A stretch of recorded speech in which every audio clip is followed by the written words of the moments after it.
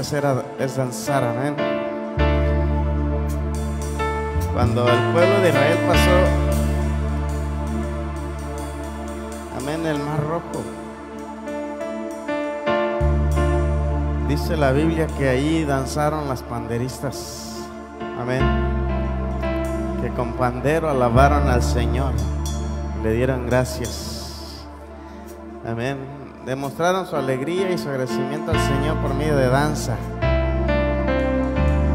Cuando David obtuvo la victoria, se humilló y por medio de danza agradeció al Señor también. Los ciegos eran sanados y saltaban de alegría y entraban saltando al templo la hermosa. Amén. Y bueno, vamos a encontrar muchas cosas. La danza no es algo nuevo, es algo que se ha hecho desde siempre para alabar al Señor. Hay muchas formas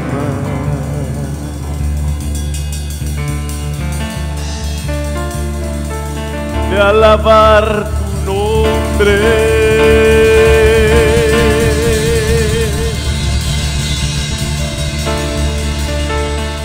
Exaltarte.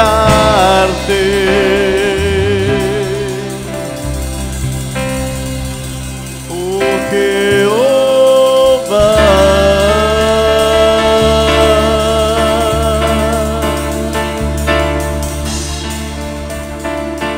Hay muchas formas de magnificarte.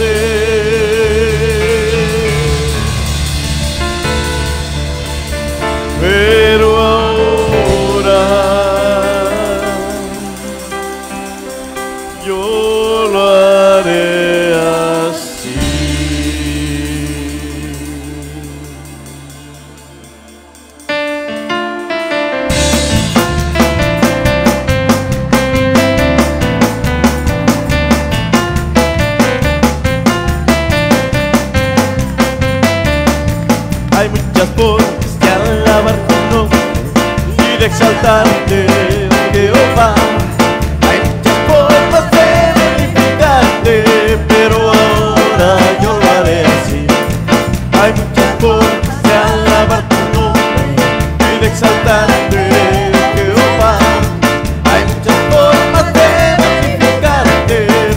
ahora yo haré celebraré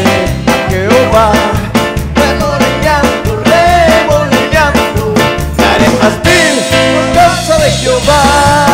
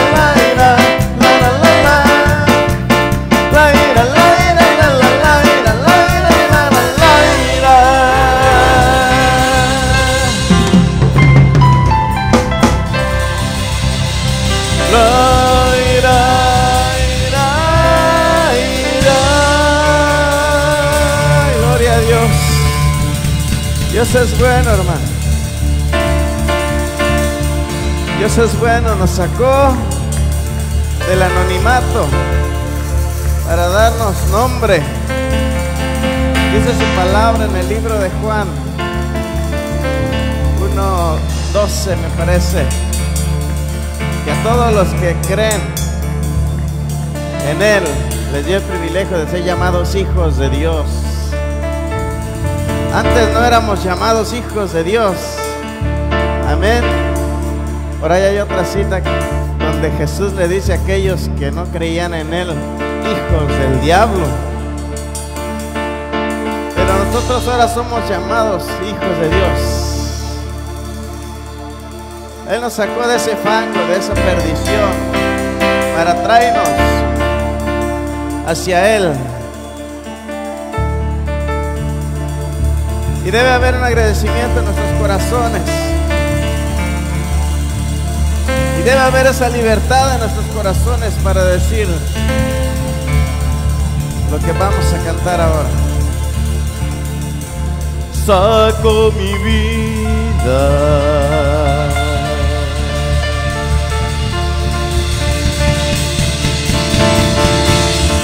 Del anonimato.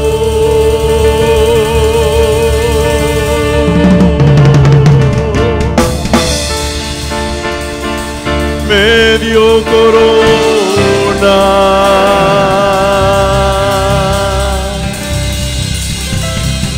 Vestido real.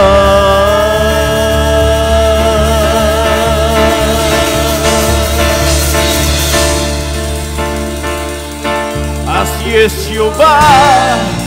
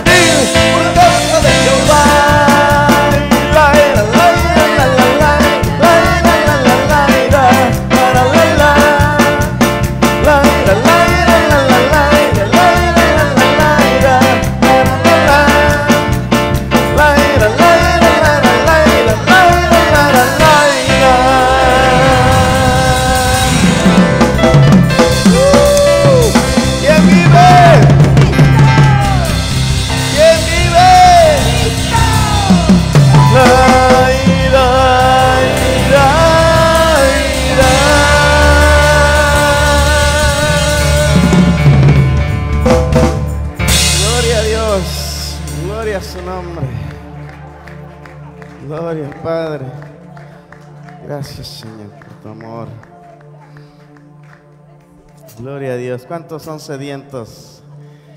¿Cuántos son necesitados del Señor?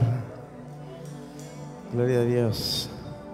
Vamos a hacer esta alabanza que, que sigue una oración, amén. Una oración nuestra. Y vamos a pedirle al Señor, manda la lluvia, Señor. Manda lluvia, Señor. Derrama de tu espíritu, Señor. Que descienda tu fuego sobre tu iglesia, Señor. Padre, manda la lluvia, llena tu pueblo. Llena mi vida, Señor. Haga esta oración delante de su presencia. Cántele esta canción a Él, esta alabanza para su gloria y Él. Todo lo que viene en el canto, diríjaselo a Él desde el fondo de su corazón. manda tu lluvia, Rey. Manda tu lluvia, Señor. Vamos a decirle a. Dios manda lluvia.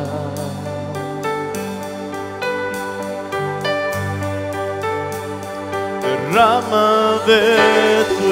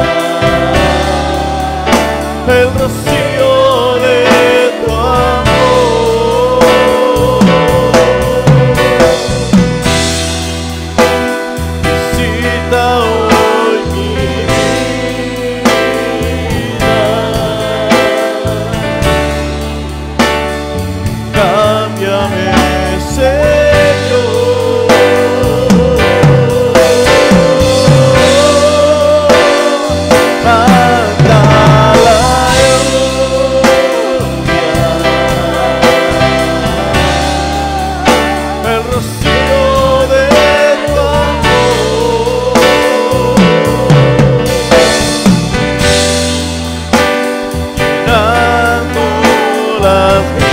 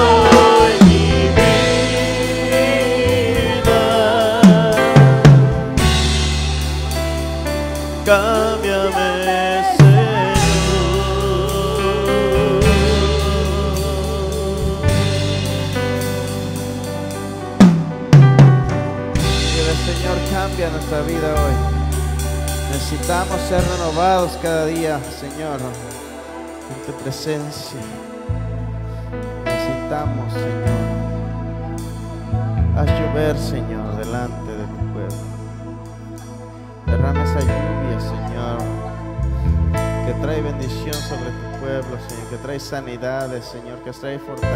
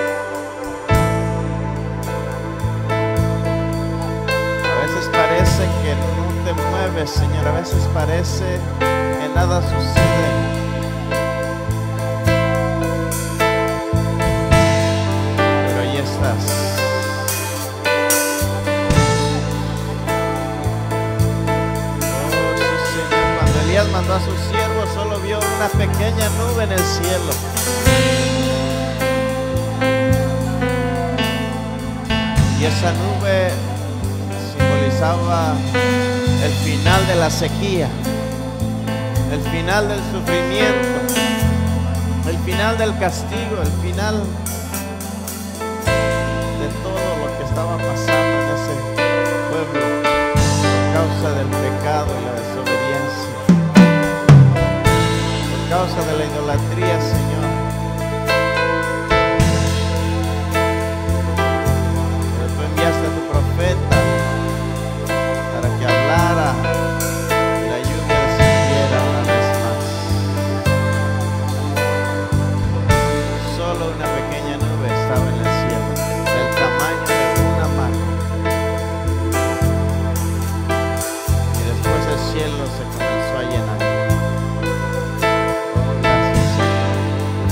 Lugar.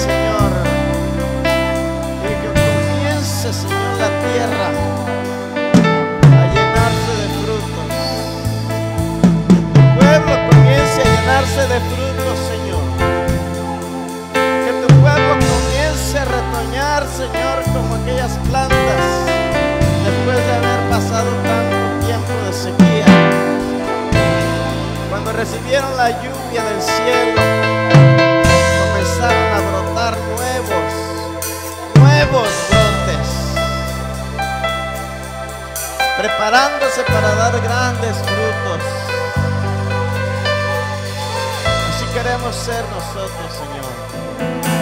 Que tu lluvia descienda, Señor, y que nos prepare para dar nuevos brotes y asimismo nuevos frutos. Lo necesitamos.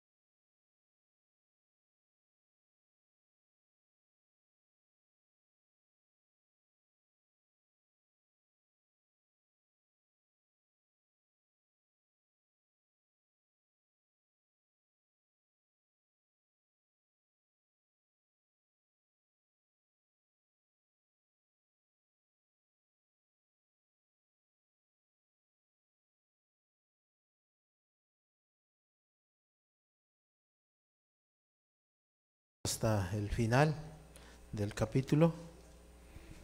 ¿Lo tiene, hermano? Vamos a leerlo, sígame ahí con su vista. Apocalipsis capítulo 2, eh, comenzando con el versículo 26.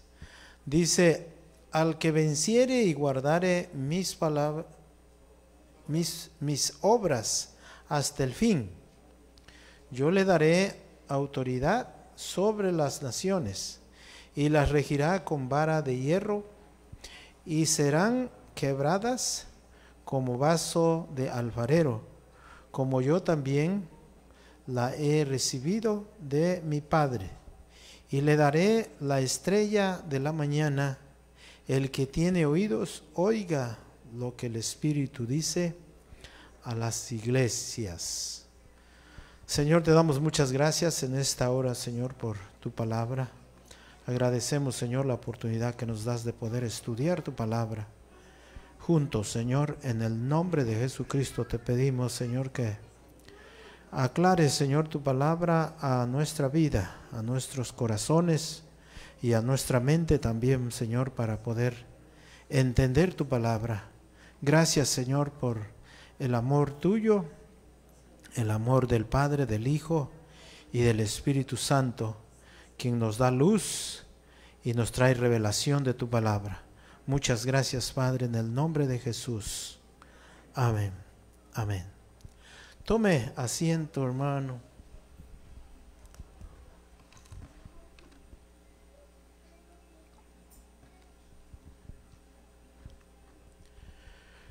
Continuamos, no sé si nos quedamos ahí en el versículo 26. Ah, leímos el 25, el 26. No recuerdo exactamente, pero pues nos volvemos ahí para poder sintonizarnos acerca de, del estudio y no se pueda perder usted de, de la sintonía, ¿no? De lo que vamos estudiando.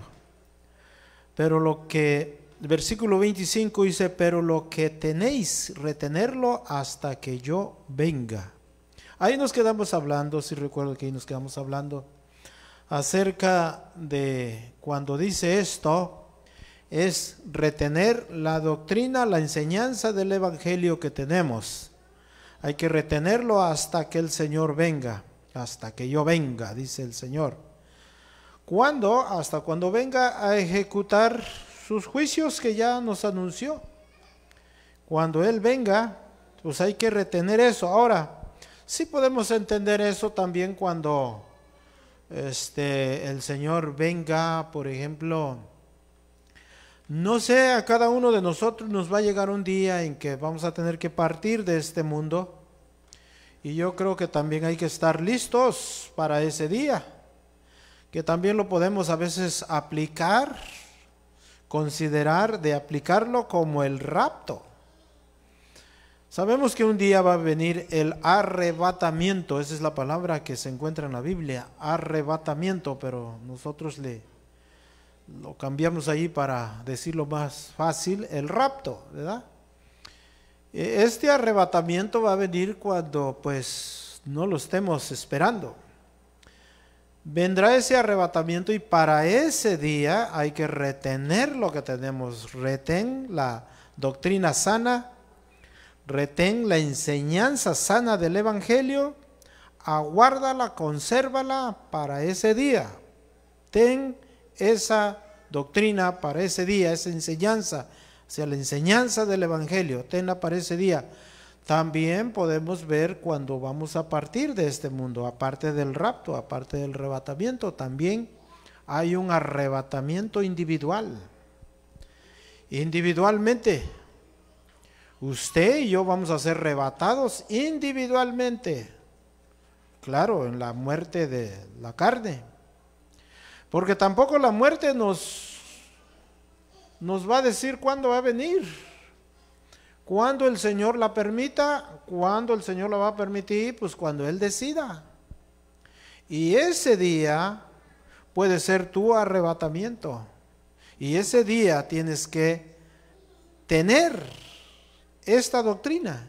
Para ese día también tuyo individualmente, yo individualmente, cuando el Señor venga por mí, ese día yo tengo que estar preparado. Por eso el día de recibir al Señor no es mañana ni pasado. El día de recibir al Señor es hoy. Hoy, no hay para mañana. Porque no sabemos qué va a ser el día de mañana. Entonces, igual aquí, solamente quería mencionar un poquito de eso, que en estas tres, vamos a decir, en estas tres maneras que el Señor nos va a arrebatar o que va a venir y que debemos de retener lo que tenemos. Primero, en el, en el arrebatamiento de cada uno de nosotros, en la muerte, que nos va a llegar cada quien individualmente, unos primero, otros después, otros bueno, cada quien nos va a ir llegando nuestro turno en la carne. Ese día puede ser un arrebatamiento para cada uno de nosotros individual. Pero también está el segundo arrebatamiento donde el Señor va a venir y va a arrebatar a toda la iglesia.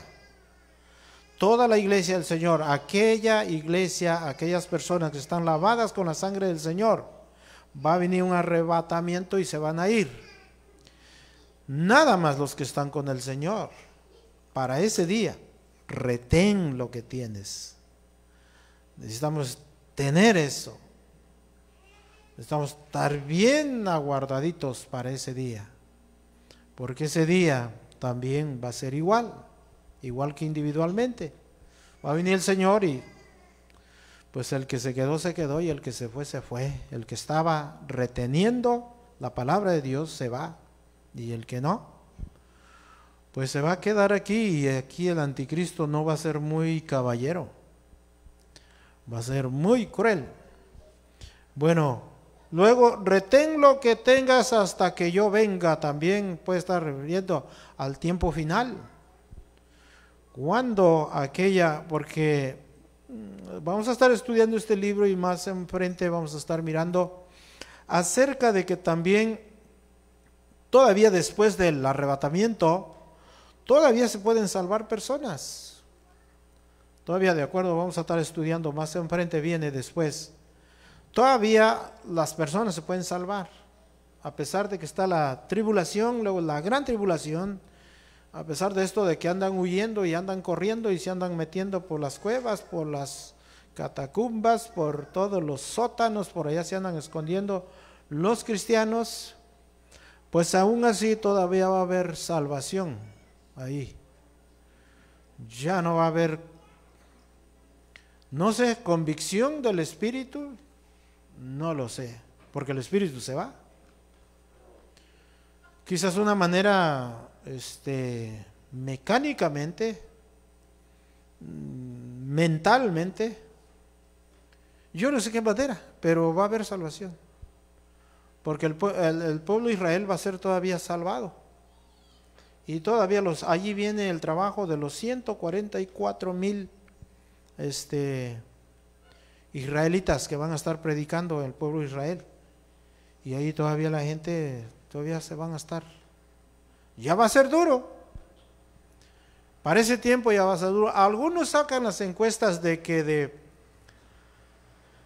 pues de mil personas, uno se va a poder salvar. Porque ¿quién va a querer que a vista de todos le corten el cuello? No va a ser fácil animarse a pasar allá la... ¿Cómo le llaman esta cuchilla? Ah, ¿Guillotina? ¿Guillotina o guillotina? guillotina, ¿verdad? Bueno, ustedes me entienden, ¿verdad? Entonces, esa, esa cuchilla de Van a estar degollando a la gente. ¿Quién se va a animar de pasar? Pásele, lo vamos a degollar para que usted se vaya al cielo. No va a ser fácil. Bueno, hay una encuesta que se hace que de mil personas una se va a animar. ¿Me dice usted? Sí va a haber salvación, pero esa va a ser la salvación, que te mochen el cuello. ¿Para qué hermano si ahorita está tan fácil? ¿Para qué esperar ese día? Si ahorita está tan fácil consagrarse al Señor, retener lo que tenemos, mantenga su vida cristiana y manténgase en el Señor y aunque vengan tempestades, manténgase en el Señor, porque recuerde, estos dos raptos pueden venir muy eh, de pronto. Tu vida, cuando partas con el Señor, y también el Señor puede venir por toda la iglesia. Entonces hay que retener lo que tenemos.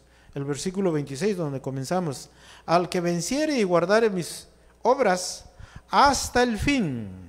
¿Ve? Ahí está, recalcándolo yo le daré autoridad sobre las naciones.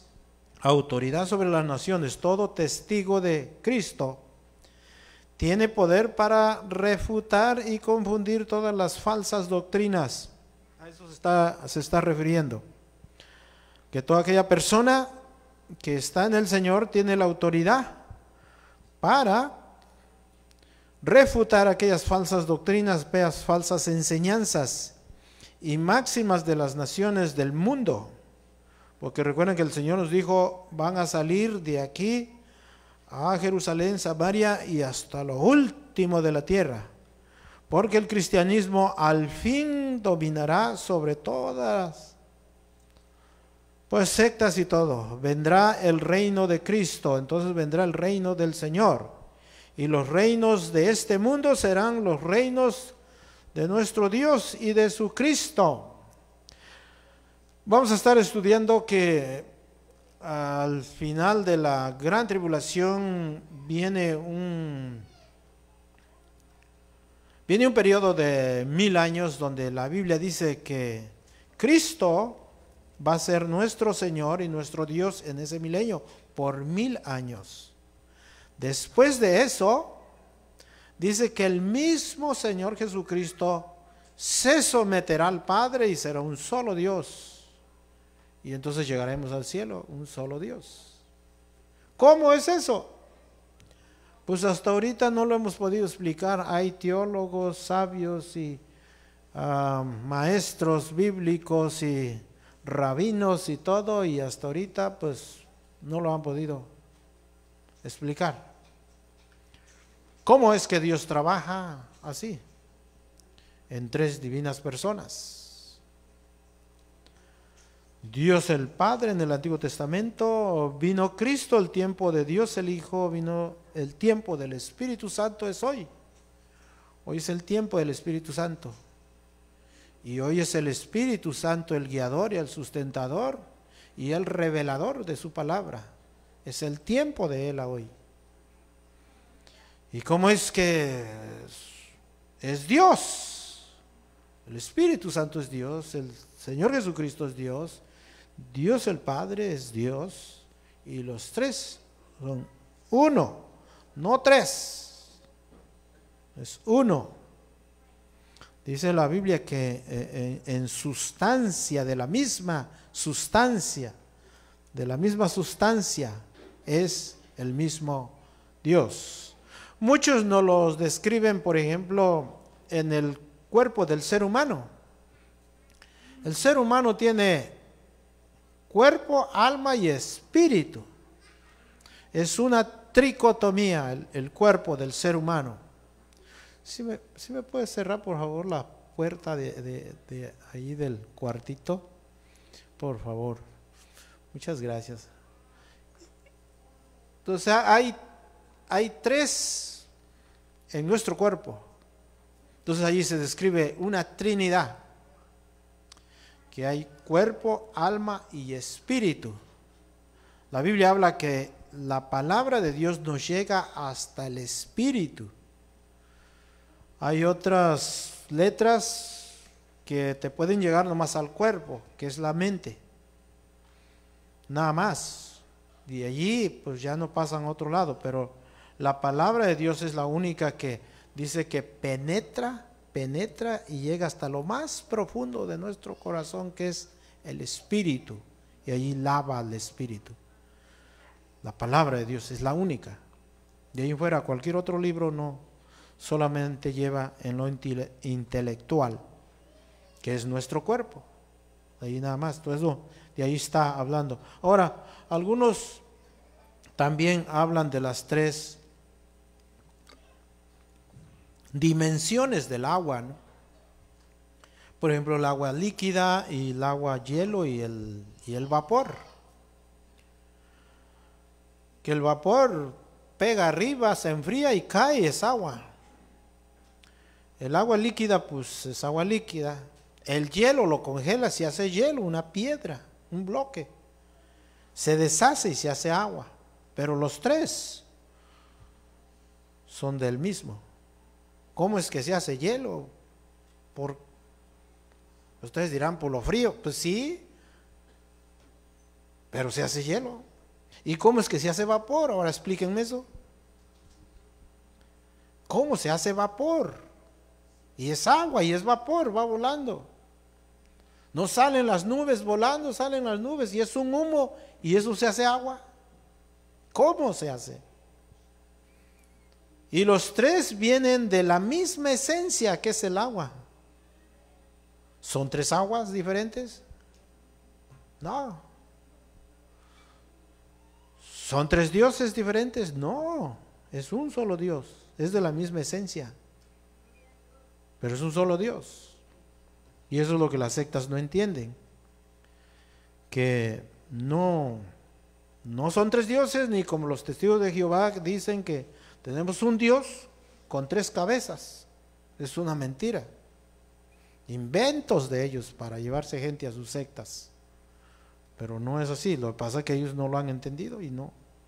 Y si no reciben al Señor Jesucristo en su corazón para que el Espíritu Santo les revele, no lo van a poder entender. Y bueno, eso es lo que es eh, la Trinidad autoridad sobre las naciones, y a eso se está refiriendo. Versículo 27. Y las regirás con vara de hierro y serán quebradas como vaso de alfarero, como yo también las he recibido de mi Padre, dice el Señor Jesucristo. Recuerde que cuando le habla a una iglesia, primero se identifica quién es la Biblia, o sea, los versículos identifican quién es, quién va a hablar, de quién viene ese mensaje, de parte de quién, para quién va el mensaje. Eso, eso se identifica primero. Entonces, mira, pues que el Señor Jesús. Ahora, vamos a leer el primer versículo de aquí, hombre. El 1, 1, 1, 1. Para que me entienda, mire. Fíjese cómo está. La revelación de quién? De Jesucristo. ¿Que viene de quién? De Dios. Le dio, o sea, Jesucristo, Dios, le dio para manifestar a sus siervos. ¿A quién? A sus siervos, a sus servidores. Las cosas, o sea, los eventos que deben suceder pronto. Para Dios todas las cosas son pronto, ¿eh? y las declaró enviándolas por medio de quién? De su ángel. ¿A quién? A su siervo Juan. ¿De dónde viene este mensaje? Viene de Jesucristo. Que Dios, o sea, primero, que Dios le dio. Vienen de Jesucristo, pero que Dios se las dio a Jesucristo para manifestar, o sea, para enseñarlas a quién? A sus servidores.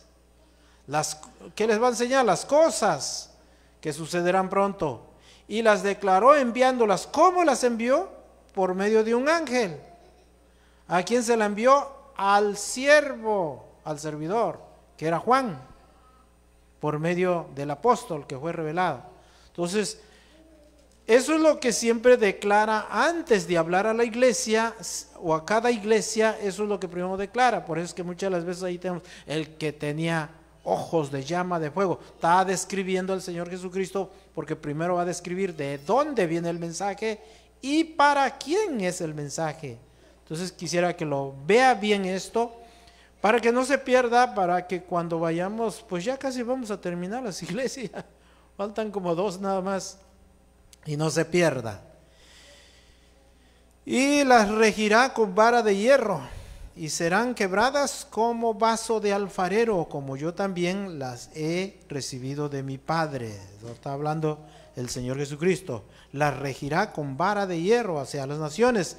Él restringirá el vicio con las más estrictas administraciones, es lo que quiere decir, de la justicia, en otras palabras. Y aquellos que finalmente desprecien la palabra y se rebelen serán quebrantados y destruidos, de modo que nunca más podrán levantarse contra la verdad. Aquellos, pues, que no, que están en contra de la justicia, porque la palabra de Dios es justicia y aquellos que se oponen en contra de la justicia, pues van a ser quebrantados. Por eso la palabra de Dios dice que el Señor Jesucristo iba a ser de tropiezo para muchos, iba a ser piedra de tropiezo, o sea que iba a golpear a muchos cuando viniera. Y así fue. Los escribas, fariseos, saduceos, estos rabinos de la ley fueron tropezadero y que iba a ser como un martillo, como un martillo sobre ellos. Porque aquel que desprecia la palabra de Dios es como un martillo la palabra de Dios. Viene y te quebranta, te quiebra. Y los golpea. A muchos les duele. Les duele en la manera de que pues muchos pues se ponen en contra. Y más cuando duele el golpe. Recuerdo que en cierta ocasión, bueno, la Biblia dice lo que dice la palabra de Dios. Y a veces nosotros pues es probable que no la decimos adecuadamente, el tiempo adecuado a la mejor, pero cuando dice la palabra de Dios lo dice. Y pues nosotros somos los que nos ofendemos, ¿no? Recuerdo yo que en cierta ocasión pues había un, vamos a decir allá, era un adulto, era una persona adulta, recién yo me había convertido al Señor y luego este, yo le estaba testificando. Era un conocido que ya lo, ya lo había conocido de tiempo atrás. Y este, yo le estaba testificando del Señor y luego me decía, no, no, no, no, no, dice, a mí no me vengas a enseñar tú de la Biblia. Dije, pero ¿por qué no? Si no, no la conoce. No, dice, pero tú no me vengas a enseñar. Dice, si yo te, yo te miré muy mocosillo y allí lleno de mocos y toda la cosa. Dice, yo te vi, yo te vi cuando estabas chico, me dijo. Así es que, ¿cómo vas a venir tú a enseñarme? No, pero no soy yo, le dije, es la Biblia. No, pero simplemente no me, no, pues tú no, Háblale a los borrachitos, a los drogadictos, allá, vete a hablarle a aquellos. dije, pero también tú. Bueno, una cosa es que no la quieras aceptar, si no quieres aceptar la palabra de Dios, pues, pues bueno, pues no es fuerza, pero también a ti. Porque la Biblia dice que si no, por ejemplo, a ti que no te gustó, le dije, si la Biblia dice que no le echemos las perlas finas a los puercos. Ay, se, me ofendió, ¿no? Ah, yo no creo que la Biblia diga eso. Le dolió. Le dolió porque... Pero así dice pues la Biblia. Así dice en Proverbios. No le tires las perlas a los puercos porque las van a destruir con las patas. Y se está refiriendo las perlas, que es la palabra de Dios, preciosa. Entonces se la pones a aquellos que no la desean, pues para ellos es un golpe, la justicia, la palabra de Dios es justicia y para ellos es golpe con un martillo y duele. Yo le digo que cuando me predicaban me, todo me incomodaba y me dolía por donde quiera y decía, ah, entonces me hace que la arreglan nomás para hacerlo sentir mal a uno. Pero no, no. Es que la Biblia está así. Es la palabra de Dios que nos arregla. Entonces, muchas de las veces nos incomoda. Versículo 28 y 29. Y le daré la estrella de la mañana. Versículo 29. El que tiene oídos, oiga lo que el Espíritu dice a las iglesias. Oiga, ¿qué quiere decir esto? Lo que el Espíritu dice a las iglesias, la importancia del consejo del Señor, o sea, del Señor Jesucristo, porque de allí viene el mensaje, de que, de que hay que escuchar al Espíritu Santo. Cuando, les, cuando la palabra se está dando y sientes que, pues, alguien te está criticando, pues no es la persona que está predicando que se está criticando, sino es la voz del Espíritu Santo hablándote. Entonces, cuando oigas su voz, escúchalo.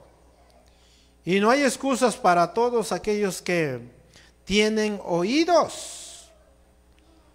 Para todos aquellos que tienen oídos, no hay excusas.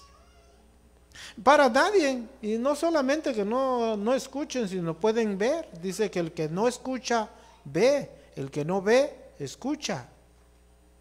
Entonces, para nadie hay excusas, pero aquí muy claro está. No hay excusa, no hay excusas para todos aquellos que tienen oídos, porque dice el versículo, el que tiene oídos, oiga, ponga atención escuche, atienda, ponga atención al Espíritu. Escuche al Espíritu, atienda al Espíritu, póngale atención. Fíjese que una de las cosas, hermano, que, que sucede en nosotros, mire, le voy a decir algo, que sucede en nosotros es que nosotros no escuchamos al Espíritu Santo. Nosotros somos muy descuidados. No escuchamos al Espíritu Santo. Le voy a decir la mea verdad, no, es, no escuchamos, no le ponemos atención al Espíritu Santo. Él es el guiador de la iglesia hoy. Mire, le voy a contar algo de lo que a mí me pasó. Algunas veces les he platicado mi testimonio, pero pues no está de más, le vuelvo a decir. Pero recuerdo que eh, yo les he platicado que en cierta ocasión yo estaba, este, pues orando. Ya tenía, yo creo que ya tenía unos cuatro, cinco días ayunando y orando. Y ya me iba a ser el último día del día jueves en la noche para el viernes y terminar el ayuno. Y recuerdo que pues yo estaba solo en mi cuarto. Y pues siempre me quedaba orando de las 10 de la noche cuando ya se pone todo silencio en adelante. Muchas las veces oraba nomás hasta las once y media o las 12 máximo y ya me dormía. Pero en esa ocasión pues ya llevaba ese tiempecito y ya había ayunado atrás. Cinco días, una semana creo más atrás. No, no la semana anterior, pero un mes, no sé, quizás atrás. Y en esa vez, pues no me, no me pude dormir, sino me quedé. Yo le cuento mi experiencia porque yo sé que todos diferente manera tenemos experiencia con el Espíritu Santo, pero hay que, hay que tener, hay que escuchar al Espíritu. Porque yo recuerdo que estaba orando y ya, yo creo que ya pasaba, yo como a la una, yo creo no sé exactamente, pero sí ya había pasado del tiempo de que estaba acostumbrado. Entonces pasó ese tiempo y luego pues seguía orando y, decía, Señor, pues ¿por qué ahora se me fue el sueño? Pero un de pronto así en mi corazón, yo sentí en mi corazón una voz que me decía, pero si yo estaba dentro de mi casa, de mi cuarto, allí en la orilla de mi cama, orando, pero allí oí que, me, que la voz en mi corazón me habló y me dijo, quítate las sandalias. Oí lo que a Moisés se le había dicho en la zarza. Quítate las sandalias. Oye, yo dije, las chanclas que tenía yo para, pues, cuando uno se va a dormir en la noche, pues tus chanclas para caminar ahí, ¿no? Y me hizo, quítate las sandalias, porque el lugar de, donde estás está santo. Oye, hermano, yo que agarro las dos, que las aviento para allá. Cuando las aventé, que solté esos para allá, me vino un fuego y me comenzó a hormiguear por todo el cuerpo. ¿Cuándo? Hasta que escuché esa voz que me dijo, quítate la sandalia. Pero en ese momento, silencio, silencio. Muy silencio, nada más hablando con el Espíritu Santo. Señor, ayúdame. Bendice la iglesia, bendice a los hermanos, bendice. hermano, en ese momento, silencito. Allí es cuando habla el Espíritu Santo, cuando tú estás solo con Él. Allí habla. Ahí lo vas a oír, lo vas a entender. Es probable que no escuches una voz audible que le, como le habló a Samuel. Samuel, tal vez no vas a escuchar la voz audible, pero vas a escuchar la voz en tu corazón del Espíritu Santo que te va a decir. Y desde ese momento en adelante, hermano, cuando vino más fuerte el fuego del Espíritu de Dios, me cubrió y me comenzó a sacudir todo a los pies. Y yo pensaba que eh, estaba sintiendo frío porque yo creí que se me estaba sacudiendo toda la ropa. Y yo miraba la ropa y no, no se sacudía nada, pero yo sentía que estaba así todo mi y con un, primero vine un como algo que se te enchina la piel y después comenzó a mirar como hormiguitas, hormiguear todo el cuerpo. Y después ya no solamente eso, ya me estaba como durmiendo y se me estaba enredando toda la lengua. Y comencé como, ya no podía orar, solamente estaba orando en lenguas. Se me enredó toda la lengua y nomás sacaba en una voz como lenguas. Eh, miré la experiencia de lo que es hablar en lenguas. Pero es en los momentos solos, tú y el Señor tú y el Espíritu Santo, ahí va a hablar, ahí lo vas a oír. ¿Cuántas veces? Porque hermano, el Espíritu Santo no te habla si andamos corriendo. No vas a poder escuchar la voz del Espíritu Santo si andas corriendo. Si oras cinco minutos y te vas y, vas por allá corriendo y Señor, allá en el baño, pues corriendo horas. Yo no digo que no es bueno, no, está bien. Está bien, tú puedes orar cinco minutos, diez minutos, los que puedas orar. Estás manteniendo tu vida delante del Señor, tu vida espiritual. Estás sirviendo al Señor con todos tus deseos. Lo que yo te estoy hablando es que muchas de las veces no vamos a poder escuchar la voz del Espíritu Santo. El Espíritu Santo es muy delicado. Hay que ponerle atención, hay que Pon esos momentos silencios donde nada más tú, tú, tú estés ahí solo con Él o sola. Allí es donde vas a escuchar la voz del Espíritu. Eso no te va a hablar. Por eso aquí, mira, lo que le, a cada iglesia le dice, hay que escuchar. ¿Qué dice el versículo? Escucha.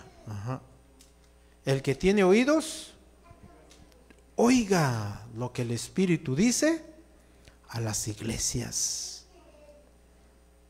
El que tiene oído. Bueno, versículo 1 en el capítulo 3, el mensaje a Sardis. Seguimos ahí.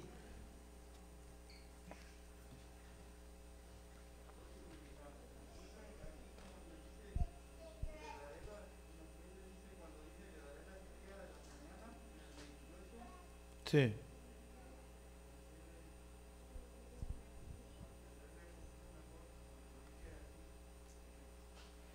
O cuando dice, ahí no, no, no le encontré para ser claro, hermano, yo no le encontré comentario ahí lo que diga. No tiene interpretación. Y más allá de eso, yo no me atrevo a, a decir porque no quisiera enseñarle algo que no, que no. Por alguna razón, revisé varios comentarios y, y en esa porción, en esa porción de, no, no tiene, los comentarios no comentan nada acerca de eso. So, no le puedo decir nada más allá de lo que pues yo no, no puedo tener autoridad para darle allí. Eh, lo que sí sé es que Dios te va a dar premios. Y muchas de las veces cuando la Biblia habla de, de estrellas, no, no habla de que te va a regalar un astro o nada de eso. Cuando está a veces la Biblia, lo que digo, no digo que esa parte dice eso, no, pero lo que digo es que cuando la Biblia menciona de estrella, muchas veces está hablando de personas, de personas o de seres creados, por ejemplo los ángeles o los demonios también, eh, cuando habla de estrellas. Pero, perdón, sí, sí. Voy a leerlo. Dice comentario, la estrella de la mañana. Juan revela más adelante a Cristo como la estrella resplandeciente de la mañana en el capítulo 22 del verso 16 de Apocalipsis. Aunque ese lucero de la mañana ya ha sido en nuestros ya ha salido en nuestros corazones, segunda de Pedro 1:19. Un día le tendremos en plenitud gloriosa. Ok. ¿Sí? Esta porción yo no se la puedo, no le puedo comentar de eso. Claro que, como le digo, o sea, cuando habla de, estrella no siempre está refiriendo a, astros, pues está refiriendo, puede estar refiriendo a ángeles, puede estar refiriendo a, personas también. Y bueno, de, acuerdo a la Biblia, pues también nos habla el libro de Cantares, que nos habla que Jesús es la estrella de la mañana sí, sí.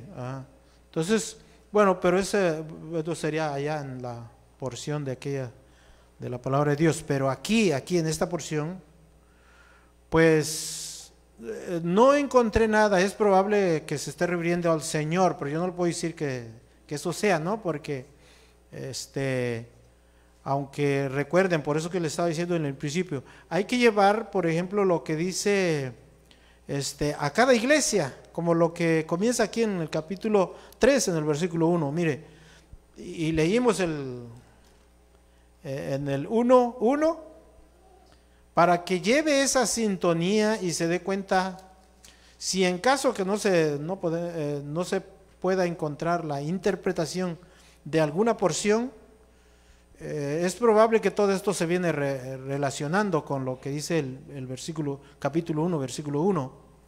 Y mire el capítulo 3, versículo 1. Escribe al ángel de la iglesia en Sardis. Mencionó la iglesia. Y luego a quién? Al ángel. Y cuando hablamos de ángel aquí en Revelaciones, está hablando siempre de la persona, del líder que está allí en esa iglesia. Eso es lo que se estudia de, lo que dice aquí en, Apocalipsis. Se está no a un ser angelical o un espíritu, sino siempre se va a estar refiriendo al pastor, al líder, al ministro de esa iglesia. Entonces, por eso dice, escribe al ángel de la iglesia en Sardis. Ahora viene, ¿de quién viene el mensaje? el que tiene los siete espíritus de Dios y las siete estrellas dice esto. Ok, ahí ya, ya dice quién, de dónde viene. Ahí termina. Dice esto y ya comienza a darlo. Yo conozco tus obras, que ni tienes nombre de que vives y estás muerto. Entonces ahí viene este, ya la enseñanza de dónde viene esta, esta enseñanza. Porque el versículo dice, escribe al ángel de la iglesia en Sardis. O si pudiéramos nosotros cambiarle allí, que no le podemos cambiar, pero lo diríamos en nuestras palabras, escribe al pastor, escribe al ministro, escribe al líder de la iglesia en Sardis. el que tiene los siete espíritus de Dios. Y las siete estrellas dice esto, yo conozco tus obras, que tienes que tienes nombre de que vives y estás muerto, pero ese ya es el mensaje a la iglesia. Yo conozco tus obras. ¿Quién es el que conoce las obras? El que tiene los siete espíritus de Dios. Ahora, ahí hay otra frase que es probablemente que también está, eh, les va a costar para entenderla, ¿no? Y no... O la gente piense que Dios tiene siete espíritus. Y es muy fácil para que la gente pueda agarrar eso como, no, pues ahí dice que Dios tiene siete espíritus. Pues no, no es eso. No es eso tampoco. Nada tiene que ver con, ni nada tiene que ver con el Espíritu de Dios o el Espíritu Santo. Nada tiene que ver eso también con el Espíritu Santo. Entonces no es eso. Por eso es que muchas las veces no podemos agarrar nomás allí a como está literalmente y sin tener alguna información de otro lado y poder mirar lo que realmente quiere decir.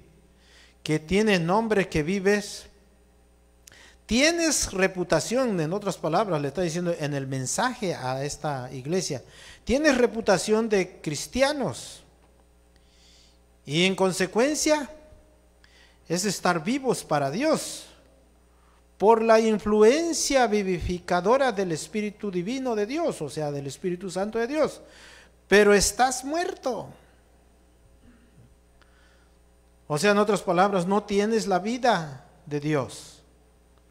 En tu alma no tienes la vida de Dios. Simplemente nomás estás en una manera religiosa, pudiéramos decirlo en otras palabras no habéis andado consecuentemente y firmemente delante de Dios, no andas así. Eso es lo que está diciendo el, versículo.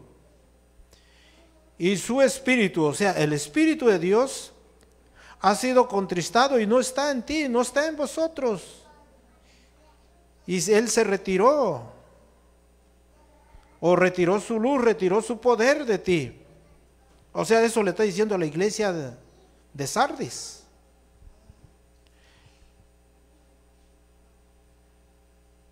Yo conozco tus obras, que ni tienes nombre de que vives y estás muerto. Fíjese cómo estaba esta iglesia. Estaba muerta.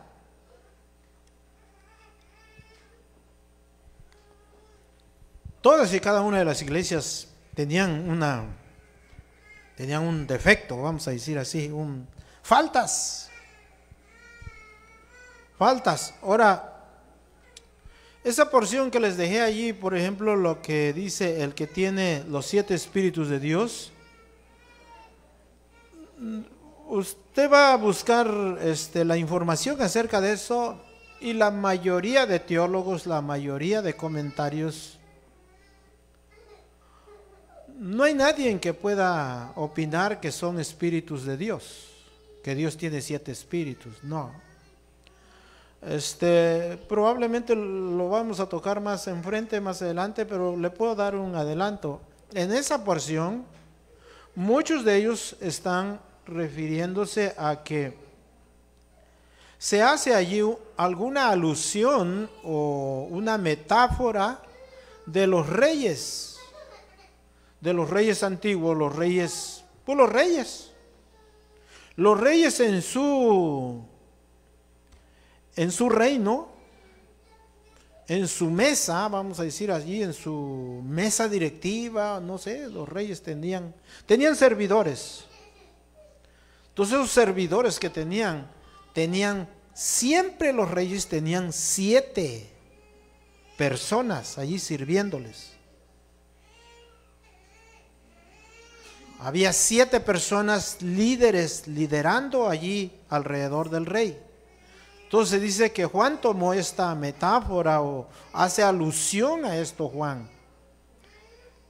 Cuando se refiere a los, el que tiene los siete espíritus de Dios. O sea, hay, de ahí se toma la metáfora que es probable que hay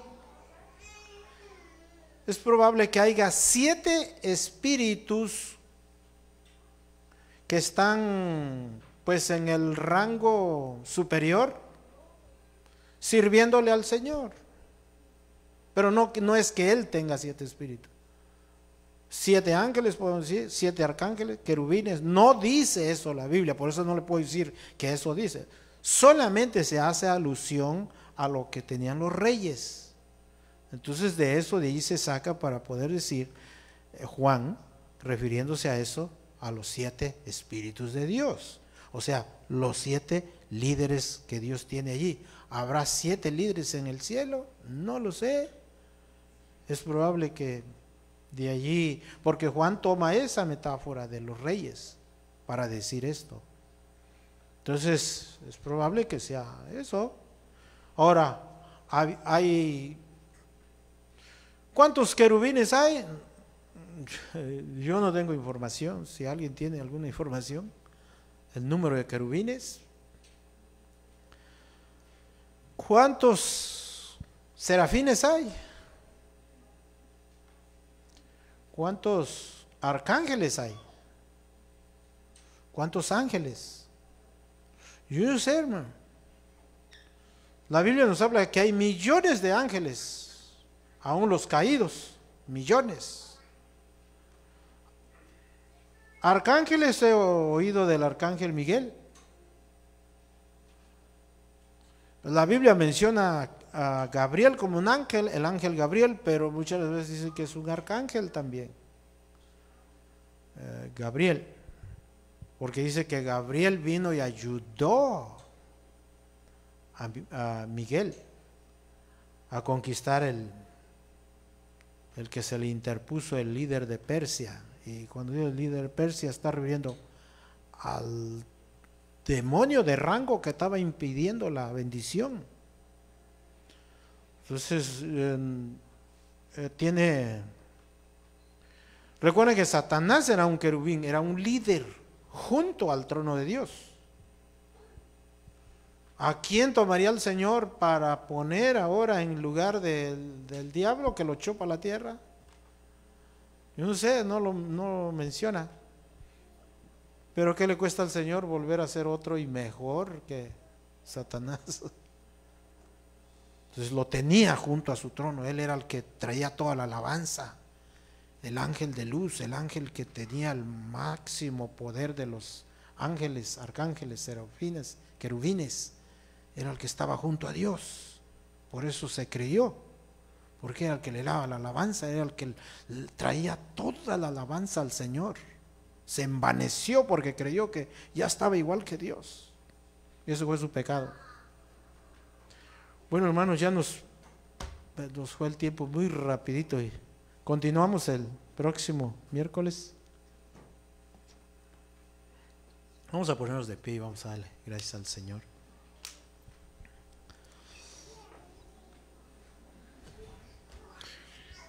Como que no los veo con deseos de irse. Si quieren nos quedamos. Vamos a darle gracias al Señor. Si tiene alguna necesidad, póngase ahí donde está, levante su mano.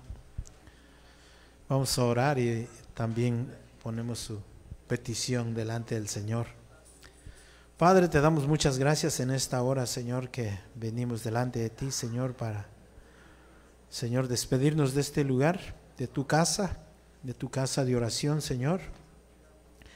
Ayúdanos, Señor, a poder levantar tu nombre en alto donde quiera que podamos, Señor, donde quiera que vayamos. Ayúdanos, Padre, a poder, Señor, interceder también delante de ti Señor, por la necesidad de las peticiones de todos y todas aquí en este lugar y en otro lugar, en donde quiera que haya, Señor, necesidad.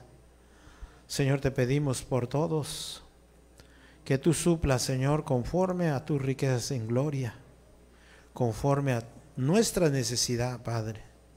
Ayúdanos, Señor, ayúdanos. Te necesitamos. Gracias, Padre, por toda las bendiciones, el amor tuyo hacia nosotros, Señor, que es mucho lo que tú nos das. Muy poco te correspondemos, Señor, perdónanos. Perdónanos y ayúdanos a que podamos, Señor, levantar tu nombre en alto y servirte, Padre, con todo nuestro corazón. Gracias, Señor, por cada mano, cada petición que fue expuesta aquí. Señor, ve tú el corazón de cada persona, cada hermano, y bendícelo, Padre, en el nombre de Jesucristo. Te doy toda la gloria y toda la honra, Señor, en el nombre de Jesús. Gracias. Amén. Amén. Dios les bendiga, hermanos. Salúdense. Estamos despedidos.